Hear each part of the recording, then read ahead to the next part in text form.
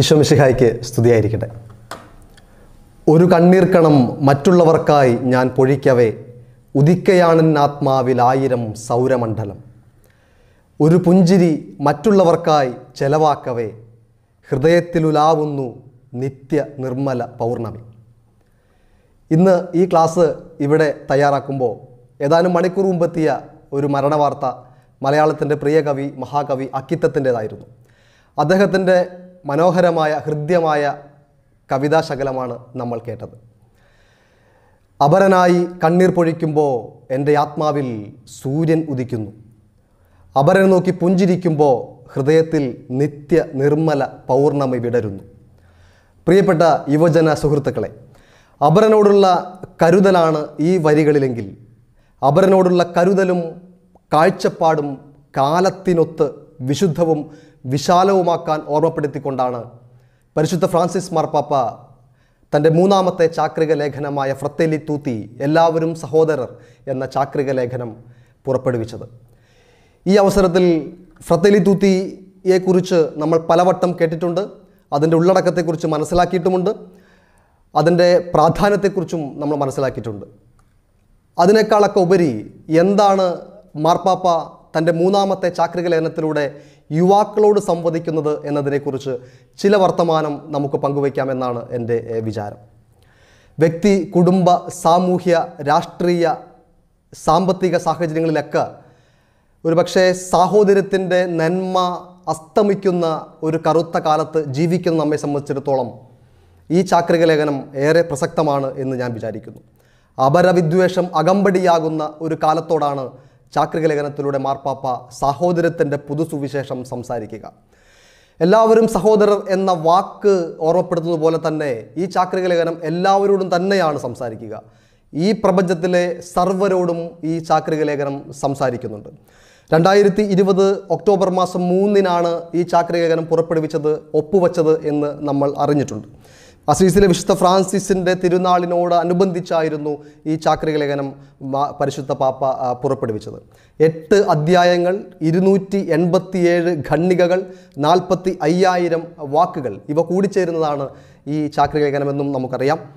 രണ്ടായിരത്തി പത്തൊമ്പതിൽ താൻ ഒപ്പുവെച്ച അബുദാബിയിൽ വെച്ച് താൻ ഒപ്പുവെച്ച ഒരു സമാധാന രേഖയും അതിനേക്കാൾ ഉപരി പരിശുദ്ധ ഫ്രാൻസിസ് പാപ്പയുടെ ചിന്തകളെ ദർശനങ്ങളെ വർത്തമാനങ്ങളെ ജീവിതത്തെ തന്നെയും ഏറെ സ്വാധീനിച്ചിട്ടുള്ള ഫ്രാ വിശുദ്ധ ഫ്രാൻസിസ് അസീസിയുടെ ദർശനങ്ങളും തീർച്ചയായും ഈ ചാക്രിക ലേഖനത്തിനും നിമിത്തമായിട്ടുണ്ട് കാരണമായിട്ടുണ്ട് എന്ന് നമ്മൾ തിരിച്ചറിയുന്നുണ്ട്. അസീസിയിലെ ഫ്രാൻസിസിന്റെ അഭിസംബോധനയോടുകൂടി തന്നെയാണ് ഈ ചാക്രിക ലേഖനം ആരംഭിക്കുക. ആ അഭിസംബോധന വാക്യം തന്നെയാണ് ഈ ചാക്രിക ലേഖനത്തിന്റെ പേരും. ഇത്രയും നമ്മളുള്ള ആമുഖമായി നമ്മൾ ഈ ചാക്രിക ലേഖനത്തെക്കുറിച്ച് മനസ്സിലാക്കുമ്പോൾ എന്താണ് ഈ ചാക്രിക ലേഖനം ഫ്രത്തേലി തൂത്തി എല്ലാവരും സഹോദരങ്ങൾ എന്ന ചാക്രിക ലേഖനം നമ്മോട് സംസാരിക്കുന്നത് യുവാക്കളോട് സംസാരിക്കുന്നത് സവിശേഷമായി ഭാരതത്തിലെയും കേരളത്തിലെയും യുവതയോട് സംസാരിക്കുന്നത് എന്ത് എന്ന അന്വേഷണമാണ് ഉദ്ദേശിക്കുക. ഫ്രത്തേലി തൂത്തിയെ പഠിക്കും മുമ്പ് അവലോകനം ചെയ്യും മുമ്പ് ചില കാര്യങ്ങൾ കൂടി നമ്മുടെ മനസ്സിലേറ്റുന്നത് നല്ലതാണ്. പാപ്പയെ പാപ്പയ്ക്ക് യുവാക്കളെക്കുറിച്ചുള്ള ചിന്ത എന്ത് എന്നുള്ളതാണ് എന്റെ മനസ്സിലുള്ളത്. രണ്ട് കാര്യങ്ങളാണ്. ഒന്ന് ഒന്നാമത്തെ കാര്യം രണ്ടായിരത്തി പതിനെട്ട് ഒക്ടോബറിൽ റോമിൽ നടന്ന മെത്രാൻമാരുടെ സാർവത്രിക സിനഡിന്റെ പ്രാരംഭത്തിൽ യുവജനങ്ങൾക്കായി പുറപ്പെടുവിച്ച ഒരു കത്ത് ഫ്രാൻസിസ് പാപ്പ ഇവിടേതായി ഉണ്ട്. ആ കത്തിന്റെ അകത്ത് പാപ്പ ഓർമ്മപ്പെടുത്തുന്ന ഒരു പ്രധാനപ്പെട്ട ഒരു കാര്യം ഇതാണ്. യുവജനങ്ങളെ നമുക്ക് ശ്രവിക്കാം. യുവജനങ്ങളുടെ ശബ്ദം നമുക്ക് കേൾക്കാം എന്നുള്ളതാണ് പ്രധാനപ്പെട്ട ഒരു കാര്യം. യുവജനങ്ങളെ നിങ്ങൾ എന്റെ ഹൃദയത്തിലുണ്ട്. നിങ്ങൾ നിരന്തരം ശ്രദ്ധാകേന്ദ്രമായിരിക്കണമെന്ന് സഭ ആഗ്രഹിക്കുന്നു എന്നുകൂടി ഫ്രാൻസിസ് പാപ്പ ആ കത്തിലൂടെ ഓർമ്മപ്പെടുത്തുന്നു. യുവാക്കളെ ഹൃദയത്തിലേറ്റുന്ന മാർപ്പാപ്പയെയാണ് യുവാക്കളെ ഹൃദയത്തിലേറ്റുന്ന ഫ്രാൻസിസ് പാപ്പയെയാണ് നമ്മൾ കാണുക. അതിനോടൊപ്പം രണ്ടാമത്തെ ഒരു കാര്യം രണ്ടായിരത്തി പത്തൊൻപത് ജനുവരി ഇരുപത്തി രണ്ട് മുതൽ ഇരുപത്തിയേഴ് വരെ തെക്കേ അമേരിക്കൻ രാജ്യമായ പനാമയിൽ നടന്ന ലോക യുവജന സമ്മേളനത്തിനോടനുബന്ധിച്ച് ഫ്രാൻസിസ് പാപ്പ നൽകിയ ഒരു സന്ദേശത്തിലെ സന്ദേശത്തിലെ വരികളാണ്. ഈ സന്ദേശത്തിലൂടെ പാപ്പ ചൂണ്ടിക്കാണിക്കുന്ന യുവാക്കൾക്കായി ചൂണ്ടിക്കാണിക്കുന്ന മനോഹരമായ ഹൃദ്യമായ ഒരു മാതൃകയുണ്ട്. അത് മറ്റാരുടേതുമല്ല പ്രിയപ്പെട്ട മറിയത്തിന്റെ തന്നെയാണ്. നസ്ത്രത്തിലെ യുവതിയായ മറിയത്തിന്റെ മാതൃക അനുകരിക്കണമെന്ന് പാപ്പ അന്ന് ഉറപ്പെടുത്തിയതായി നമ്മുടെ മുമ്പിലുണ്ട്. ദൈവത്തിന്റെ പദ്ധതി തിരിച്ചറിഞ്ഞ് പ്രതികരിച്ച നസ്രത്തിലെ യുവതിയായ മറിയത്തെ പോലെ ജീവിതത്തിലെ എല്ലാ മേഖലകളിലും നമ്മുടെ കഴിവും കരുത്തും പൂർണമായി സമർപ്പിക്കാൻ നമുക്ക് സാധിക്കുമെന്ന് ഈ സന്ദേശത്തിലൂടെ പാപ്പ നമ്മെ ഓർമ്മപ്പെടുത്തുന്നുണ്ട്. അപരനായി സമർപ്പിക്കുന്ന ജീവിതമാണ് അർത്ഥസമ്പുഷ്ടമാകുന്നത് എന്ന് പാപ്പയുടെ വാക്കുകൾ. ദൈവത്തിന്റെ വിളിയോട് മറിയം സമ്പൂർണ സമ്മതം നൽകിയതിൽ പിന്നെ അവൾ മറ്റുള്ളവർക്കായി ജീവിച്ചു. അതിനായി അകലങ്ങളിലേക്ക് ഇറങ്ങി പുറപ്പെടാനും അവൾ ധീരത പ്രകടമാക്കിയെന്ന് സന്ദേശത്തിലൂടെ ഫ്രാൻസിസ് പാപ്പ നമ്മോട് പങ്കുവെക്കുന്നു. ഈ രണ്ട് സംഭവങ്ങൾ ഈ രണ്ട് സന്ദേശങ്ങൾ പാപ്പയുടേതായി ഓർമ്മപ്പെടുത്തിയപ്പോൾ ഈ ഫ്രസ് ഫ്രത്തലി തൂത്തിയെ അത്തരം സന്ദേശങ്ങളോട് ഫ്രാൻസിസ് പാപ്പ യുവജനങ്ങളെ എങ്ങനെ കാണുന്നു എന്നുള്ളതിനോട് കൂട്ടി വായിച്ചു വേണം ഏഹ് ഫ്രത്തലി തൂത്തി യുവജനങ്ങളോട് എന്തു പറയുന്നു എന്നുകൂടി നമുക്ക് മനസ്സിലാക്കാനായിട്ട്. യുവജന മതബോധന ഗ്രന്ഥമായ യു ക്യാറ്റിന്റെ മുഖവുരയ്ക്കകത്ത് ബെനഡിക് പാപ്പ പറയുന്ന മനോഹരമായ ഒരു വാചകം കൂടി ആമുഖമായി ഈ ക്ലാസ്സിൽ നമ്മൾ ഓർ ഓർമ്മിക്കേണ്ടതുണ്ട് എന്നാണ് ഞാൻ വിചാരിക്കുക. മുഖവുരയിൽ പാപ്പ പറയുന്നു നിങ്ങൾ എന്തു വിശ്വസിക്കുന്നു എന്ന് നിങ്ങൾ അറിഞ്ഞിരിക്കണം. ഒരു ഐ ടി സ്പെഷ്യലിസ്റ്റ് കമ്പ്യൂട്ടറിന്റെ ആന്തരിക പ്രവർത്തനങ്ങൾ അറിയുന്നത് പോലുള്ള കൃത്യതയോടെ നിങ്ങളുടെ വിശ്വാസം നിങ്ങൾ അറിയണം. നല്ല സംഗീതജ്ഞൻ ഉപയോഗിക്കുന്ന സംഗീത ഉപകരണം അയാൾ അറിയുന്നത് പോലെ നിങ്ങൾ വിശ്വാസത്തെ മനസ്സിലാക്കണം. അതെ നിങ്ങൾ നിങ്ങളുടെ മാതാപിതാക്കളുടെ തലമുറയേക്കാൾ കൂടുതൽ ആഴത്തിൽ വിശ്വാസത്തിൽ വേരുറയ്ക്കണം. ഈ കാലഘട്ടത്തിന്റെ വെല്ലുവിളികളും പ്രലോഭനങ്ങളും ശക്തിയോടും ദൃഢനിശ്ചയത്തോടും കൂടി കൈകാര്യം ചെയ്യാൻ നിങ്ങൾക്ക് കഴിവുണ്ടാകാനാണ് അത്. നിങ്ങളുടെ വിശ്വാസം സൂര്യപ്രകാശത്തിൽ മഞ്ഞുതുള്ളി വറ്റിപ്പോകുന്നത് പോലെ വറ്റിപ്പോകാതിരിക്കണമെങ്കിൽ ഉപഭോഗ സംസ്കാരത്തിന്റെ അനുനയം തടഞ്ഞു നിർത്താൻ നിങ്ങൾ ആഗ്രഹിക്കുന്നുണ്ട് എങ്കിൽ നിങ്ങളുടെ സ്നേഹം അശ്ലീല സാഹിത്യത്തിൽ മുങ്ങിപ്പോകാതിരിക്കണമെങ്കിൽ നിങ്ങൾ ദുർബലരെ ഒറ്റിക്കൊടുക്കാതിരിക്കുകയും മുറിവേൽക്കപ്പെടുന്നവരെ നിരാശ്രയരായി തള്ളിക്കളയാതിരിക്കുകയും ചെയ്യണമെങ്കിൽ നിങ്ങൾക്കും ദൈവ സഹായമുണ്ടായിരിക്കണം ഈ വാക്കുകൾ ബെനഡിക് പാപ്പയുടേതാണ്. യു ക്യാറ്റ് എന്ന കത്തോലിക്ക സഭയുടെ യുവജന മതബോധന ഗ്രന്ഥത്തിന്റെ ആമുഖത്തിലാണ് മുഖവുരയിലാണ് ഈ വാക്യം പാപ്പ കൂട്ടിച്ചേർക്കുക. പ്രിയമുള്ളവരെ ഫ്രാൻസിസ് പാപ്പയുടെയും ബെണിക് പാപ്പയുടെയും ഈ വാക്കുകളുടെ പശ്ചാത്തലത്തിൽ ഫ്രത്തലി തൂത്തി എന്താണ് എന്നോട് നിങ്ങളോട് യുവതയോട് സംസാരിക്കുന്നത് എന്ന് നമുക്ക് മനസ്സിലാക്കാം. നമുക്കറിയാം യുവാക്കളാണ് ലോകത്തിലെ ഏതു മാറ്റങ്ങളും പെട്ടെന്ന് ഉൾക്കൊള്ളുവാൻ പര്യാപ്തമായ സമൂഹം എന്ന് പറയുക. ഒരുപക്ഷെ സമൂഹത്തിലെ ലോകത്തിലെ രാജ്യത്തിലെ ഏതു മാറ്റങ്ങളും ആദ്യം പ്രകടമാകുക യുവാക്കളിലൂടെയാണ്. അവരുടെ വർത്തമാനങ്ങൾ അവരുടെ വസ്ത്രധാരണം അവരുടെ ഭക്ഷണശൈലികൾ അവരുടെ സാമൂഹികമായ ഇടപെടലുകൾ അവരുടെ സ്റ്റൈലുകൾ ഇതെല്ലാം പുതിയ കാലത്തിന്റെ ആദ്യ ഒപ്പിയെടുക്കൽ അവരിൽ നമുക്ക് കാണുവാനായിട്ടൊക്കെ സാധിക്കും. ലോകത്തിലുണ്ടായിട്ടുള്ള വിപ്ലവങ്ങൾ ലോകത്തിലുണ്ടായിട്ടുള്ള മുന്നേറ്റങ്ങൾ സാമൂഹ്യമായിട്ടുള്ള രാഷ്ട്രീയമായുള്ള മുന്നേറ്റങ്ങളുടെയൊക്കെ ആദ്യ വിത്തുകൾ വിതയ്ക്കപ്പെട്ടത് യുവാക്കളിലാണ് എന്നും നമുക്ക് തിരിച്ചറിയാനായിട്ട് സാധിക്കും.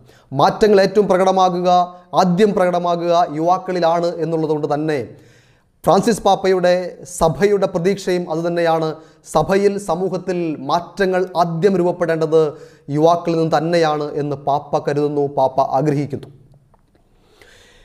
എട്ട് അധ്യായങ്ങളിലൂടെയാണ് ഈ ചാക്രികേഖനം മുന്നോട്ട് പോകുന്നത് എന്ന് നമുക്കറിയാം.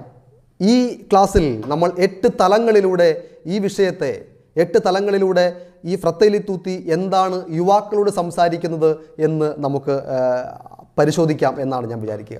ഒന്നാമത്തെ കാര്യം സാഹോദര്യം പ്രഥമം പ്രധാനം എന്നുള്ളതാണ്. തീർച്ചയായും ഈ ചാക്രികേഖനത്തിന്റെ തലവാചകം ഓർമ്മപ്പെടുന്നത് പോലെ തന്നെ സാഹോദര്യം തന്നെയാണ് ഈ ചാക്രികലേനത്തിന്റെ മാർപ്പാപ്പയുടെ ഈ അപ്പസ്തോലിക ആഹ്വാനത്തിന്റെ അന്തസത്ത എന്ന് പറയുക. ഏറ്റവും മഹത്തായ സാഹോദര്യ സങ്കല്പം ഇന്നോളം ഉണ്ടായതിൽ ഏറ്റവും മഹത്തായ സാഹോദര്യ സങ്കല്പം ബൈബിളിൽ തന്നെയാണ് നമ്മൾ കാണുക. മഹത്തായ സ്നേഹത്തിന്റെ സങ്കല്പവും നമ്മൾ കാണുക ബൈബിളിലാണ്. ഒരുപക്ഷേ ബൈബിളിലെ സ്നേഹ സ്നേഹസങ്കല്പത്തിന് സാഹോദര്യ സങ്കല്പത്തിന് പകരം വയ്ക്കാവുന്ന മറ്റെന്ത് സ്നേഹത്തിന്റെ സഹോദരത്തിന്റെ പാഠമാണ് ലോകത്തിലുണ്ടായിട്ടുള്ളത് എന്ന ചോദ്യം ഇന്നും അവശേഷിക്കുകയാണ്. അത്രമേൽ ഉദാത്തമാണ് അത്രമേൽ സമഗ്രമാണ് വിശുദ്ധ ഗ്രന്ഥത്തിലെ സാഹോദര്യത്തിന്റെയും സ്നേഹത്തിന്റെയും സങ്കല്പം. ഈ സങ്കല്പം കേവലം സങ്കല്പം മാത്രമല്ല തന്റെ ജീവിതം കൊണ്ട് പൂരിപ്പിക്കുന്ന ക്രിസ്തുവിനെയും നമ്മൾ വിശുദ്ധ ബൈബിളിനകത്ത് നമ്മൾ കണ്ടുമുട്ടുന്നുണ്ട്. നിന്നെപ്പോലെ നിന്റെ അയൽക്കാരനെയും സ്നേഹിക്കാൻ പഠിപ്പിച്ച ക്രിസ്തു അപരനായി മുറിച്ചു നൽകിയ ക്രിസ്തു ആ ക്രിസ്തുവിന്റെ പാത പിന്തുടരുന്ന യുവ സമൂഹമാണ് നമ്മളെല്ലാവരും. പ്രത്യേകമായി നമ്മുടെ എറണാകുളം അങ്കമാല അതിരൂപത ഈ വർഷത്തെ വിശ്വാസ പരിശീലന പ്രവർത്തനങ്ങളുടെ ആധാരമാക്കി എടുത്തിട്ടുള്ള സ്നേഹം സർവോത്കൃഷ്ടം എന്ന മനോഹരമായ അതുല്യമായ അനുപമമായ ആ വാചകവും ആ ചിന്തയും വിശുദ്ധ ബൈബിളിൽ നിന്ന് തന്നെയാണ് നമ്മൾ വായിച്ചെടുക്കുക. അനിവാര്യമായ സാഹോദര്യം ഇന്നിന്റെ ആവശ്യമാണ് എന്ന് ഫ്രാൻസിസ് പാപ്പ ഈ ചാക്രികേതനത്തിലൂടെ ഓർമ്മപ്പെടുത്തുന്നു ഒന്നാമത്തെ അധ്യായത്തിന്റെ പേര് അടഞ്ഞ ലോകത്തിനുമേൽ ഇരുണ്ട കാർമേഘങ്ങൾ എന്നാണ്. ഫ്രാൻസിസ് പാപ്പയുടെ ചാക്രികേതനത്തിന്റെ ഫ്രത്തേലി തൂത്തിയുടെ ആദ്യ അധ്യായത്തിന്റെ മലയാള പരിഭാഷ അടഞ്ഞ അധ്യായത്തിന്റെ തലക്കെട്ടിന്റെ മലയാള പരിഭാഷ അടഞ്ഞ ലോകത്തിനുമേൽ ഇരുണ്ട കാർമേഘങ്ങൾ എന്നുള്ളതാണ്. ഒരു അതിന്റെ അഞ്ചാമത്തെ ഖണ്ഡികയ്ക്കകത്ത് പാപ്പ ഓർമ്മപ്പെടുന്ന മനോഹരമായ ഒരു കൽപ്പനയുണ്ട്. അതിങ്ങനെയാണ് ആഗോളവത്കൃത സമൂഹം നമ്മെ അയൽക്കാരാക്കുന്നുണ്ട്. പക്ഷേ അത് നമ്മെ സഹോദരങ്ങൾ ആക്കുന്നില്ല. ആഗോളവൽകൃത സമൂഹം നമ്മെ അയൽക്കാരാക്കുന്നുണ്ട്. പക്ഷേ അത് നമ്മെ സഹോദരങ്ങളാക്കുന്നില്ല. ഒരു പക്ഷേ ആധുനിക ലോകം ആഗോളവൽക്കരണത്തിന്റെ ഭാഗമായ ആധുനിക ലോകം ഒരു പക്ഷേ നമ്മൾ തമ്മിലുള്ള വ്യക്തികൾ തമ്മിലുള്ള രാജ്യങ്ങൾ തമ്മിലുള്ള അകലങ്ങൾ കുറയ്ക്കുമ്പോഴും തൊട്ടടുത്തുള്ളവനോടുള്ള സൗഹൃദത്തിന്റെ സ്നേഹത്തിന്റെ വ്യാപ്തി കുറച്ചു എന്ന് നമ്മൾ ഈ കാലത്തിന്റെ ഉദാഹരണങ്ങളിലൂടെ ചുവരെഴുത്തുകളിലൂടെ നമ്മൾ തിരിച്ചറിയുന്നുണ്ട്. ജാതി വർഗ വർണ ദേശ വ്യത്യാസങ്ങളുടെ പേരുകളിലുള്ള വേർതിരിവുകൾക്കപ്പുറം സഹോദരങ്ങളായി സ്നേഹത്തിലും സൗഹൃദത്തിലും സകലരും ജീവിക്കണമെന്ന ഫ്രാൻസിസ് പാപ്പയുടെ എക്കാലത്തെയും വലിയ സ്വപ്നം ഈ ചാക്രകേതനത്തിലൂടെയും പാപ്പ സൂചിപ്പിക്കുന്നുണ്ട്. കുരിശുദ്ധകാലത്ത് വിശുദ്ധ ഫ്രാൻസിസ് അസീസി ഈജിപ്തിലെ ഖലീഫയെ സന്ദർശിച്ചത് സന്ദർശിച്ചതും സമാധാനത്തിന്റെ ശബ്ദം മുഴക്കിയതും പാപ്പ ഇതിന്റെ ആമുഖഭാഗത്ത് ആദ്യ ആദ്യ ഭാഗങ്ങളിൽ ഓർമ്മപ്പെടുത്തുന്നുണ്ട്. പാപ്പ പറയുന്നു വാദപ്രതിവാദങ്ങളല്ല. കറകളഞ്ഞ സാഹോദര്യവും സ്നേഹവുമാണ് സമാധാനത്തിന്റെ മാർഗമെന്ന് പാപ്പ ചാക്രികലേഖനത്തിലൂടെ ഉറപ്പെടുത്തുന്നുണ്ട്. അസീസിലെ വിശുദ്ധ നൽകിയ ഉപദേശവും മാതൃകയുമാണ് തന്റെ എല്ലാ എല്ലാവരും സഹോദരർ എന്ന ഈ ചാക്രികേതനത്തിന്റെ ആധാരമെന്നുകൂടി പാപ്പ ഓർമ്മപ്പെടുത്തുന്നു വിഘടനവാദം അക്രമം ഭീകരവാഴ്ച ഇതെല്ലാം ലോകവ്യാപകമായി അരങ്ങേറുന്ന സാഹചര്യത്തിൽ സകല മനുഷ്യരും സഹോദരങ്ങളാകണമെന്ന അവബോധം ഈ ചാക്രികേതനത്തിലൂടെ പാപ്പ നമുക്ക് നൽകുന്നു. എല്ലാ മനുഷ്യരും നല്ലവരാണ്. എല്ലാ മനുഷ്യരും നല്ലവരും സ്നേഹിക്കപ്പെടേണ്ടവരുമാണ് എന്ന് പാപ്പ തന്റെ ബോധ്യങ്ങളുടെ പട്ടികയിൽ ഒരു വട്ടം കുറിച്ചു വച്ചതും ഇതിനോട് ചേർത്ത് വായിക്കണം. പ്രിയമുള്ളവർ എന്താണ് ഈ ഒന്നാം അധ്യായം അല്ലെങ്കിൽ സാഹോദര്യത്തിന്റെ കാഴ്ചപ്പാട്. ഫ്രാൻസിസ് പാപ്പ പങ്കുവയ്ക്കുന്ന സാഹോദര്യത്തിന്റെ കാഴ്ചപ്പാട് നമ്മൾ യുവാക്കളോട് പറയുന്നത് എന്നുകൂടി പരിശോധിക്കേണ്ടതുണ്ട്. നമ്മളൊക്കെ നമ്മുടെ കൂട്ടുകാരെ ബ്രോ എന്ന വാക്കുകൊണ്ട് പലവട്ടം നമ്മൾ ഉപയോഗ നമ്മൾ വിളിക്കാറുണ്ട്. ബ്രോ എന്ന ഏറ്റവും ചുരുക്കപ്പേരിന്റെ അകത്ത് ആകർഷകമായ പേരിന്റെ അകത്ത് തോളിൽ തട്ടി നമ്മൾ വിളിക്കുമ്പോൾ ആ വിളിപ്പേരിന്റെ അകത്ത് നമ്മുടെ സാഹോദര്യത്തിന്റെ ഊഷ്മളമായ സൗന്ദര്യവും വ്യാപനവും നമ്മൾ മറന്നു പോകുന്നുണ്ടോ എന്നുകൂടി നമ്മൾ പരിഭവിക്കേണ്ടതുണ്ട് പുതിയ കാലത്ത്.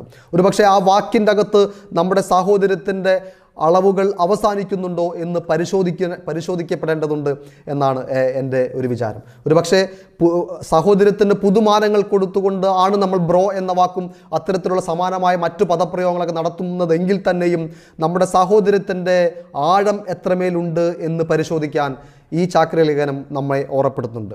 ഒരുപക്ഷെ ഈ അടുത്ത കാലത്തായിട്ട് ഒരുപാട് യുവാക്കൾ കൊല ചെയ്യപ്പെട്ട ഒരു കാലം കൂടിയാണ്. നമ്മുടെ സമീപ ജില്ലയ്ക്കകത്ത് ഒരുപാട് യുവാക്കൾ ഏതാണ്ട് ഒരു മാസത്തിനകത്ത് ആറോ ഏഴോ യുവാക്കൾ പല കാരണങ്ങൾ കൊണ്ട് രാഷ്ട്രീയമായിട്ടോ വ്യക്തിവൈരാഗ്യത്തിന്റെ പേരിലൊക്കെ കൊല ചെയ്യപ്പെട്ട ഒരു കാലമാണ്.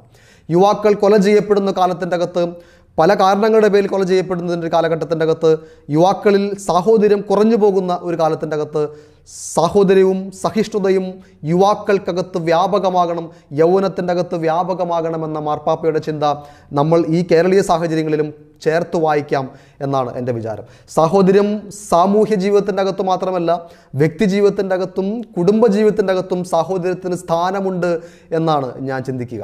അതിന്റെ പ്രധാനപ്പെട്ട ഒരു കാര്യം എന്താണ് നമ്മൾ സഹോദരങ്ങളെ എങ്ങനെ കാണുന്നു എന്നുള്ള ഒരു ചിന്ത ഒരു ആത്മവിമർശനത്തോടെ നമ്മൾ കാണേണ്ടതുണ്ട്. എന്റെ സഹോദരനെ എന്റെ സഹോദരിയെ എന്റെ അയൽക്കാരനെ എന്റെ ആവശ്യങ്ങൾക്ക് വേണ്ടി ഞാൻ സമീപിക്കുന്നതിനപ്പുറത്ത് അവരന്റെ ആവശ്യങ്ങൾക്ക് വേണ്ടി അവന്റെ ആവശ്യങ്ങൾക്ക് വേണ്ടി എത്രമേൽ ഞാൻ സമീപിക്കുന്നു എന്ന് പരിശോധിക്കാൻ ഒരു പക്ഷേ മാർപ്പാപ്പയുടെ സാഹോദര്യ സങ്കല്പം പുതിയ കാലത്ത് നമ്മെ ഉറപ്പെടുത്തുന്നു ഒന്നാമത്തെ ചിന്ത സാഹോദര്യം എന്നുള്ളതാണ്. രണ്ടാമത്തേലേക്ക് നമ്മൾ കടന്നാൽ വിശ്വമാകെ ഒരു കുടുംബം എന്നുള്ള ചിന്ത. പാപ്പ യുവജനങ്ങളോട് സംവദിക്കുന്ന രണ്ടാമത്തെ കാര്യമായി ഞാൻ വിലയിരുത്തുക വിശ്വമാകെ ഒരു കുടുംബം എന്നുള്ളതാണ്. രണ്ടായിരത്തി പതിനഞ്ചിലാണ് ലൗദാത്തോ സി എന്ന ചാക്രിക ലേഖനം ഫ്രാൻസിസ് പാപ്പ പുറത്തിറക്കിയത്. ഒരു പൊതുഭവനം ഭൂമി ഒരു പൊതുഭവനം എന്ന ചിന്ത ലോകത്തിന് സമ്മാനിച്ച ചരിത്രപരമായ ഒരു ചാക്രലേഖനം ക്രൈസ്തവ മതത്തിന്റെ അതിരുകൾ അതിരുകൾക്കകത്തൊതുങ്ങാതെ വിശാലമായ ലോകത്ത് എല്ലാ മതങ്ങൾക്കും സ്വീകാര്യമായ ചിന്തകൾ ഉൾപ്പെടുത്തിക്കൊണ്ട് ദർശനങ്ങൾ ഉൾപ്പെടുത്തിക്കൊണ്ട് പാപ്പ പങ്കുവച്ച മനോഹരമായ ചാക്രലേഖനം ഒരുപക്ഷെ വിശ്വാസവിരുദ്ധരെ പോലും സഭാവിരുദ്ധരെ പോലും ആകർഷിച്ച ചിന്തകൾ ഉള്ളടക്കമായ ലൗദാത്തോസി ഇന്നും എന്നും പ്രസക്തമാണ് എന്നുള്ളതാണ് അതിന്റെ ഒരു ചിന്ത. അതിൽ ഉപയോഗിച്ചത് മനോഹരമായ ഒരു വാക്കാണ് പൊതുഭവനം എന്നുള്ളത്. പൊതുഭവനത്തിൽ ജീവിക്കുന്ന നാം ഒരു കുടുംബത്തിലെ സഹോദരങ്ങളെ പോലെയാകണമെന്ന് ഈ ചാക്രിക ലേഖനം നമ്മോട് പറയുന്നു. പൊതുഭവനം എന്ന വാക്ക് ലൗദാത്തോസിയിലൂടെ പാപ്പ നൽകിയെങ്കിൽ തന്റെ ഫ്രത്തെല്ലി തൂത്തി എന്ന മൂന്നാമത്തെ ചാക്രികരണത്തിലൂടെ പൊതുഭവനത്തിൽ ജീവിക്കുന്ന നമ്മൾ ഒരു കുടുംബത്തിലെ സഹോദരങ്ങളെ പോലെ ജീവിക്കണമെന്ന മനോഹരമായ ചിന്ത കൂടി നമ്മോട് പറയുന്നുണ്ട്. ആദ്യ അധ്യായത്തിൽ സാർവത്രിക സാഹോദര്യത്തിന് തടസ്സം നിൽക്കുന്ന എല്ലാ കാര്യങ്ങളെയും പാപ്പ വിമർശന വിധേയമാക്കുന്നുണ്ട്. രണ്ടായിരത്തി പത്തൊമ്പത് കഴിഞ്ഞ വർഷം ഫെബ്രുവരിയിൽ താൻ അബുദാബിയിലേക്ക് നടത്തിയ യാത്രയെക്കുറിച്ച് പാപ്പ ചാക്രലേഖനത്തിൽ ഓർപ്പിക്കുന്നുണ്ട് ഗ്രാൻഡ് ഇമാം അഹമ്മദ് അൽ തയ്യബുമായുള്ള കൂടിക്കാഴ്ചയെക്കുറിച്ച് ആ കൂടിക്കാഴ്ചയ്ക്കകത്ത് ഇരുവരും ഒരുമിച്ച് ഒപ്പുവെച്ച വിശ്വശാന്തിക്കും സഹവർത്തിത്വനുമായുള്ള മാനവ സാഹോദര്യത്തിനും മാനവ സാഹോദര്യം എന്ന രേഖയിൽ ഒപ്പുവെച്ചതിനെക്കുറിച്ചും പാപ്പ ഇതിൽ പറയുന്നുണ്ട്. ഈ സംഭവവും ഈ ചാക്രലേഖനത്തിന് ചാക്രലേഖനം എഴുതുന്നതിന് കാരണമായി എന്ന് പാപ്പ ആമുഖഭാഗത്ത് ഭാഗത്ത് നേരത്തെ തന്നെ പറഞ്ഞു വെച്ചിട്ടുണ്ട്. അതിന് കടന്ന ദേശീയവാദം അപകടമാണ് എന്ന് പാപ്പ ഇതിന്റെ അകത്ത് പറയുന്നു. വിശ്വ സാഹോദര്യത്തെക്കുറിച്ച് വിശ്വം മുഴുവൻ ഒരു കുടുംബമാണ് എന്ന് നമ്മൾ ചിന്തിക്കുമ്പോൾ അതിന് കടന്ന ദേശീയവാദം അപകടമാണ് എന്ന പാപ്പയുടെ ഓർമ്മപ്പെടുത്തൽ ഭാരതീയ പശ്ചാത്തലത്തിൽ നമ്മൾ ആത്മവിമർശനത്തോടെ ഒരു വിമർശന വിധേയമാക്കി പഠിക്കേണ്ടതാണ് എന്നുള്ളതാണ്. കടന്ന ദേശീയവാദവും അത് സൃഷ്ടിക്കുന്ന സ്വാർത്ഥതയും സാർവത്രിക സ്വാതന്ത്ര്യത്തിന് സാർവത്രിക സാഹോദര്യത്തിന് തടസ്സമാണ് എന്ന് പാപ്പ പഠിപ്പിക്കുന്നു. വർത്തമാനകാല ഭാരതീയ സാഹചര്യങ്ങൾ നമ്മൾ പഠിക്കുമ്പോൾ ഒരുപക്ഷെ അതിരുകടന്ന ദേശീയത നമ്മുടെ ഭരണ സംവിധാനത്തിന്റെ അകത്തും രാഷ്ട്രീയ രംഗത്തുമൊക്കെ അപകടകരമായ പ്രവണതകൾ സൃഷ്ടിക്കുന്ന ഒരു കാലത്തിന്റെ അകത്ത് സ്റ്റാൻ സാമിയെ പോലെയുള്ള വൈദികരൊക്കെ അറസ്റ്റ് ചെയ്യപ്പെടുന്ന ഒരു കാലത്തിന്റെ അകത്ത് അത്തരം ഭാരതീയ സാഹചര്യങ്ങളെ പാപ്പയുടെ സാഹോദര്യ സങ്കല്പത്തോട് ചേർത്ത് വായിക്കണം എന്നുള്ളതാണ് നമ്മുടെ ചിന്ത. കത്തോലിക്ക സഭ ക്രൈസ്തവ സഭ എക്കാലത്തും സാഹോദര്യത്തിന്റെ സുവിശേഷമാണ് പ്രസംഗിച്ചിട്ടുള്ളത്. ഈ കാലഘട്ടത്തിലും നമ്മുടെ വൈദികർ സാമൂഹ്യ രംഗത്ത് പ്രവർത്തിക്കുന്ന സ്റ്റാൻസാമി ഉൾപ്പെടെയുള്ള വൈദികരും ലോകത്തോട് പങ്കുവച്ചത് സാഹോദര്യത്തിന്റെ സുവിശേഷം തന്നെയാണ്. അപ്പോഴും അതിനെ തെറ്റായി വ്യാഖ്യാനിക്കുകയും അതിനെ വികൃതമായി വ്യാഖ്യാനിക്കുകയും അത് രാജ്യദ്രോഹമാണെന്ന് പോലും വ്യാഖ്യാനിക്കുകയും അദ്ദേഹത്തെ പോലെയുള്ളവരെ തടങ്കലിലാക്കുകയും ചെയ്യുന്ന ദേശീയവാദത്തിന്റെ അതിരുകടന്ന ദേശീയവാദത്തിന്റെ ഇരകളായി മാറുന്നവരെ കുറിച്ചുകൂടി നമ്മൾ ഓർമ്മിക്കേണ്ടതുണ്ട് എന്ന് ഈ ചിന്ത നമ്മെ ഓർമ്മപ്പെടുത്തുന്നുണ്ട്. നന്മയും സ്നേഹവും നീതിയും ഐക്യവും ഈ ശക്തമായ ദേശീയതയുടെ പേരിൽ ബലികഴിക്കപ്പെടുന്നുവെന്ന് പാപ്പ ആശങ്കപ്പെടുന്നു. ജനാധിപത്യവും സ്വാതന്ത്ര്യവും നീതിയുമൊക്കെ ബലികഴിക്കപ്പെടുന്ന ഒരു കാലത്തോടാണ് മാർപ്പാപ്പ വിശ്വ സാഹോദര്യത്തിന്റെ സന്ദേശം പറയുക. പ്രത്യേകമായി കോവിഡ് പത്തൊമ്പതിന്റെ പശ്ചാത്തലവും പാപ്പ ചാക്രലേഖനത്തിൽ ഓർമ്മപ്പെടുന്നുണ്ട്. അവരെന്നെ കൂടാതെ എനിക്കൊന്നും ആവില്ല എന്ന ഒരു ഓർമ്മപ്പെടുത്തൽ കൂടി കോവിഡ് പത്തൊമ്പതിന്റെ പാഠങ്ങളിലുണ്ട്. എന്നെക്കൊണ്ട് ഒറ്റയ്ക്ക് ഒന്നിനും സാധ്യമാകില്ല എന്ന അനിവാര്യമായ കോവിഡ് പത്തൊമ്പതിന്റെ പാഠം പാപ്പ ഇതിൽ ഓർമ്മപ്പെടുത്തുന്നുണ്ട്. അവരനോടുള്ള കരുതലിന്റെ ആവശ്യകതയെക്കുറിച്ച് ഗൗരവമായി പാപ്പ ഇതിലൂടെ ഓർമ്മപ്പെടുത്തുന്നു. വസുധൈവ കുടുംബകം എന്ന മനോഹരമായ വിശ്വദർശനം ലോകത്തിന് കാഴ്ചവെച്ചത് നമ്മുടെ ഭാരതമാണ്. വസുധൈവ കുടുംബം ഈ ലോ ഈ ഭൂമി മുഴുവൻ എന്റെ കുടുംബമാണ് എന്ന മനോഹരമായ വേദങ്ങളിലെ ദർശനം ചൂണ്ടിക്കാണിച്ച ലോകത്തോട് വിളിച്ചു പറഞ്ഞ നമ്മുടെ ഭാരതത്തിൽ തന്നെ ആ ചിന്തയ്ക്ക് വിഘാതമായ ആ ചിന്തയ്ക്ക് വിഘാതമായ അതിരുകടന്ന മതദേശീയ മത തീവ്രവാദങ്ങളും അതിരുകടന്ന ദേശീയതയും ഒക്കെ പിടിമുറുക്കുന്നുണ്ടെങ്കിൽ ആ അപകടത്തെ നമ്മൾ തിരിച്ചറിയേണ്ടതുണ്ട് യൗവനം തിരിച്ചറിയേണ്ടതുണ്ട്. ലോകമേ തറവാട് തനിക്ക് ചെടികളും പുൽകളും പുഴുക്കളും കൂടി തൻ കുടുംബക്കാർ എന്നു പാടിയത് മലയാളത്തിന്റെ പ്രിയ കവി വള്ളത്തോൾ നാരായണ മേനോനാണ് ലോകം ലോകത്തോട് കേരളവും ഭാരതവും ഒക്കെ പങ്കുവച്ചത് ലോകം തറവാടാണെന്നും വസുദൈവ കുടുംബകമാണെന്നുമുള്ള മനോഹരമായ ദർശനമാണ്. ഈ ദർശനത്തിന് മുമ്പേ എത്രയോ മുമ്പേ വിശുദ്ധ ഗ്രന്ഥത്തിന്റെ അകത്തുള്ള വിശ്വദർശനം വിശുദ്ധഗ്രന്ഥത്തിനകത്തുള്ള സാമൂഹ്യ സാഹോദര്യ ദർശനവും നമ്മുടെ മിഷണറിമാർ നമ്മുടെ വൈദികർ ഭാരതത്തോട് ലോകത്തോട് കേരളത്തോടൊക്കെ പങ്കുവച്ചിട്ടുണ്ട്. എന്താണ് ഈ ചിന്തയിലൂടെ പാപ്പ നമ്മോട് പറയുക? മനസ്സിന്റെ അകത്തുള്ള മതിലുകളെ പൊളിച്ചു നീക്കാൻ തന്നെയാണ് പാപ്പ നമ്മോട് പറയുക. പ്രത്യേകിച്ച് യുവാക്കളായ നമ്മെ സംബന്ധിച്ചിടത്തോളം സ്വാർത്ഥതയുടെ മതിൽക്കെട്ടുകൾ ഏറെ ഏറെ പണിതുയർത്തിയിട്ടുള്ള നമ്മുടെ മനസ്സിന്റെ അകത്തുള്ള ആ മതിൽക്കെട്ടുകൾ നിർബന്ധമായും പൊളിച്ചു നീക്കപ്പെടുക തന്നെ വേണം എന്ന് പാപ്പ നമ്മെ ഓർമ്മപ്പെടുന്നു പാപ്പ യുവാക്കളെ കൃത്യമായി ഓർമ്മപ്പെടുത്തുന്ന ഒരു കാര്യം വിശ്വ സാഹോദര്യത്തിന്റെ വക്താക്കളായി പ്രബോധകരായി നമ്മൾ മാറേണ്ടതുണ്ട് എന്നുകൂടിയാണ് പാപ്പായുടെ ഓർമ്മപ്പെടുത്തൽ. പ്രിയമുള്ളവരെ ഒരുപക്ഷെ ഒരു സ്വാർത്ഥതയുടെ മതിൽക്കെട്ടുകൾക്ക് ജീവിക്കുന്ന നമ്മെ സംബന്ധിച്ചിടത്തോളം സാഹോദര്യം എന്ന വാക്കും വിശ്വ സാഹോദര്യം എന്ന വാക്കുമൊക്കെ ഒരു പക്ഷേ ഉൾക്കൊള്ളാൻ അല്പം മടി തോന്നിയേക്കാം. എങ്കിൽ പോലും പുതിയ കാലത്തിന്റെ അകത്ത് അസഹിഷ്ണുതയും അസമാധാനവും ഒക്കെ പിടിമുറക്കുന്ന ഒരു സാർവത്രിക സാഹചര്യങ്ങൾക്കകത്ത് നമ്മളാലാവും വിധം സാഹോദര്യത്തിന്റെ വിശ്വസാഹോദര്യത്തിന്റെ വക്താക്കളായി നമ്മൾ മാറണമെന്ന ചിന്തയാണ് രണ്ടാമത്തെ പാപ്പയുടെ ഉറപ്പെടുത്തൽ. മൂന്നാമത്തെ ഗൗരവമായ ഒരു ഉറപ്പെടുത്തലിലേക്ക് നമുക്ക് കടക്കാം. അത് പരിമിതിയില്ലാത്ത ഉപഭോഗവും പൊള്ളയായ വ്യക്തിത്വവും എന്നുള്ളതാണ്. നമുക്കറിയാം നമ്മളൊക്കെ ജീവിക്കുക ഉപഭോഗ സംസ്കാരത്തിന്റെ ഒരു കാലഘട്ടത്തിലാണ്. ഉപഭോഗ സംസ്കാരം പിടിമുറുക്കുന്ന ഒരു കാലഘട്ടം. പരിമിതിയില്ലാത്ത ഉപഭോഗവും പൊള്ളയായ വ്യക്തിത്വവും ആഗോളവൽക്കരണത്തിന്റെ അടയാളമാണ് എന്ന് പാപ്പ ഓർമ്മപ്പെടുത്തുന്നുണ്ട് രാജ്യത്തിന്റെ അതിർത്തികൾ ഒരുപാട് ഒരുപാട് തുറക്കപ്പെടുമെങ്കിലും ഉപഭോഗ സംസ്കാരത്തിന്റെ ചൂഷണവും മുതലെടുപ്പും മുതലെടുപ്പും ഒന്നും തീരുന്നില്ല എന്ന് പാപ്പ ഓർമ്മിപ്പിക്കുന്നു.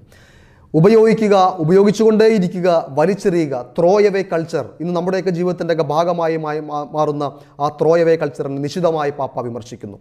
ആ വലിച്ചെറിയൽ സംസ്കാരം ഉപഭോഗ സംസ്കാരം നമ്മുടെ വ്യക്തിജീവിതങ്ങൾ നമ്മുടെ ജീവിത ബന്ധങ്ങളിലേക്ക് പോലി പോലും കടന്നു വരുന്നുണ്ടെങ്കിൽ അത് അപകടമാണ് എന്ന് പാപ്പ ഇതിലൂടെ ഓർപ്പെടുന്നുണ്ട് പ്രായമായവരെ തള്ളി മാറ്റുന്ന കുടുംബത്തിൽ നിന്ന് സമൂഹത്തിൽ നിന്ന് രാജ്യത്തു നിന്നൊക്കെ തള്ളി മാറ്റുന്ന ഒരു പ്രവണത വർദ്ധിച്ചു വരുന്നതിനെ പാപ്പ ആശങ്കയോടെ കാണുന്നു അപകടമാണ് എന്ന് ഓർപ്പിക്കുന്നു വലിയ വീടുകൾ ഇന്ന് നമുക്കുണ്ടാകുമ്പോഴും നമ്മുടെ കുടുംബങ്ങൾ ചെറുതാകുന്നു.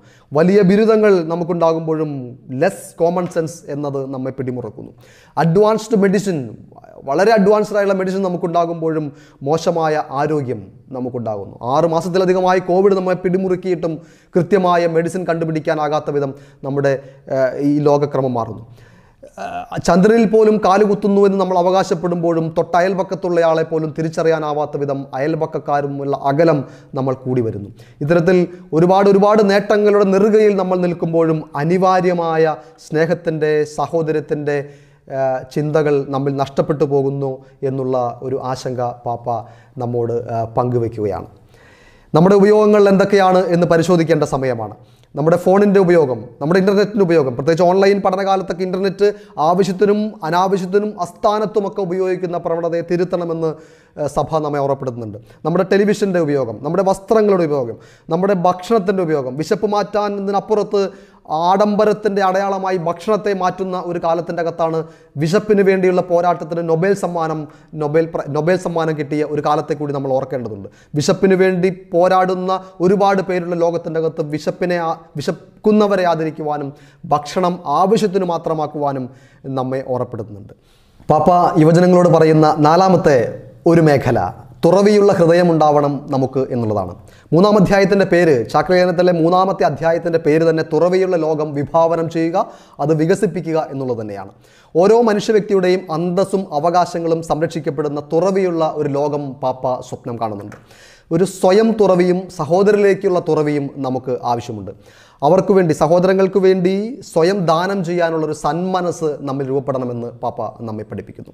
മനുഷ്യ സോഷ്യൽ അനിമൽ എന്ന് പറഞ്ഞത് അരിസ്റ്റോട്ടിലാണ്. മനുഷ്യർ ഒരു സാമൂഹ്യ ജീവിയാണ്. സാമൂഹ്യ ബന്ധങ്ങളില്ലാതെ സാമൂഹികമായ ഇടപെടലുകളില്ലാതെ നമുക്ക് ഈ ലോകക്രമത്തിൽ ജീവിക്കുക അസാധ്യമാണ് എന്ന് തന്നെയാണ് അരിസ്റ്റോട്ടിൽ ഓർമ്മപ്പെടുത്തിയത്.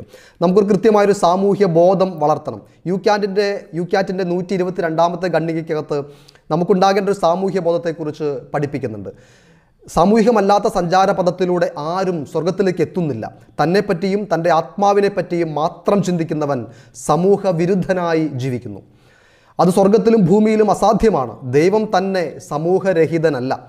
അവിടുന്ന് ഒറ്റപ്പെട്ട സ്വയം പര്യാപ്തതയുള്ള സത്തയല്ല. ത്രിത്വാത്മക ദൈവം സമൂഹാത്മകമാണ്. സർ സംസർഗമാണ് സ്നേഹത്തിന്റെ ശാശ്വത വിനിമയമാണ്. ദൈവത്തിന്റെ മാതൃകയിൽ മനുഷ്യനും ബന്ധത്തിന് മനുഷ്യബന്ധത്തിനും പരസ്പര വിനിമയത്തിനും ഭാഗഭാഗിത്വത്തിനുമായി സ്നേഹത്തിനും വേണ്ടി രൂപവത്കൃതനായിരിക്കുന്നു. നാം പരസ്പരം ഉത്തരവാദിത്വമുള്ളവരായിരിക്കണം എന്നുകൂടി യു ക്യാറ്റ് ഓർമ്മപ്പെടുത്തുന്നു. നമുക്കൊരു സാമൂഹ്യ ബന്ധത്തിൽ സാമൂഹ്യ ബന്ധത്തിന്റെ അകത്ത് ഇത്തരത്തിൽ കൃത്യമായ ഒരു സാമൂഹ്യ അവബോധത്തോടുകൂടി വളരുവാൻ നമുക്ക് സാധിക്കേണ്ടതുണ്ട്. ഒരു പാരസ്പര്യത്തിന്റെ യൗവനം നമ്മൾ വളർത്തിയെടുക്കണം. നമ്മൾ ഒറ്റയ്ക്കല്ല എന്നുള്ള തിരിച്ചറിവ് നമുക്കുണ്ടാകണം. സങ്കടങ്ങൾ പങ്കുവയ്ക്കുവാൻ ഒരാളുണ്ട് എന്നുള്ള ഒരു ചിന്ത നമുക്കുണ്ടാവണം. അവരെന്റെ സങ്കടങ്ങൾ കേൾക്കുവാൻ എനിക്ക് കടമയുണ്ട് എന്നുള്ള ചിന്തയും നമ്മിൽ ഉണ്ടാകട്ടെ. അഞ്ചാമത്തെ അഞ്ചാമത്തെ തലം എന്ന് പറയുന്നത് കുടിയേറ്റത്തിന്റെ വർത്തമാനം എന്നുള്ളതാണ്. കുടിയേറ്റ ജനതയെക്കുറിച്ച് പാപ്പ ഈ ചാക്ലേഖനത്തിന്റെ അകത്ത് പറയുന്നുണ്ട്. ഒരു പക്ഷേ കുടിയേറ്റക്കാരെ കുറിച്ചുള്ള പ്രാർത്ഥന ജപമാലയിൽ ഉൾപ്പെടുത്തിയ ഒരു ഒരു ഒരു വർഷം കൂടിയാണ് നമ്മൾ കടന്നു പോവുക അമേരിക്കയും യൂറോപ്പും കാനഡയും ഒക്കെ സ്വപ്നം കണ്ട് പഠിക്കുകയും പാഠ്യേതര പ്രവർത്തനങ്ങൾ ഏർപ്പെടുകയും ചെയ്യുന്ന നമ്മോടും ഫ്രാൻസിസ് പാപ്പ ഒരു കാര്യം പറയുന്നുണ്ട്. ലോകത്ത് എവിടെ വേണമെങ്കിലും എവിടെ വേണമെങ്കിലും പോയി ജീവിക്കാൻ മനുഷ്യന് അടിസ്ഥാനപരമായ അവകാശമുണ്ടെങ്കിലും ജനിച്ചു വളർന്ന നാടും സംസ്കാരവും ഉപേക്ഷിച്ച് വേറെ രാജ്യങ്ങളിലേക്ക് പോകുന്നതിനെ പാപ്പ ഒരർത്ഥത്തിൽ നിരാ നിരുത്സാഹപ്പെടുത്തുന്നുണ്ട്. എങ്കിൽ തന്നെയും സ്വന്തം രാജ്യത്തിന്റെ അകത്ത് സന്തോഷത്തോടെ ജീവിക്കാൻ പര്യാപ്തമായ സാഹചര്യങ്ങൾ ഉണ്ടാകണമെന്നുകൂടി പാപ്പ ഇതിലൂടെ പറയുന്നുണ്ട്. യുദ്ധവും യുദ്ധവും വർഗീയ കലാപവും ദാരിദ്ര്യവും പട്ടിണിയും ഒക്കെ കൊണ്ട് കുടിയേറി വരുന്ന ജനതയോട് സ്നേഹപൂർണമായ സമീപനം നമുക്കുണ്ടാകണം എന്നുകൂടി പാപ്പ ഉറപ്പെടുന്നുണ്ട്.